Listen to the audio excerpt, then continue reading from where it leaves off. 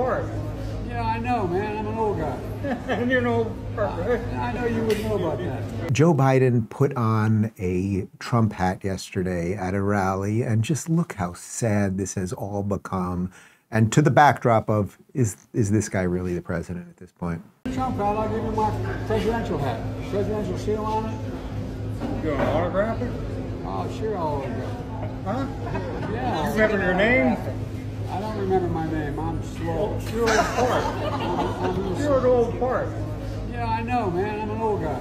and you're an old part, right? I know you would know about that. What? About being old. Oh, I know. All right. I'm a young timer. Huh? You know, he reminds me of the guys I grew up with. There was always one in the neighborhood. well, I'm the only one.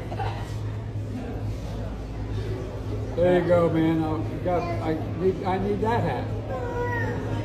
Want my autograph? Hell no. You know, you know my name.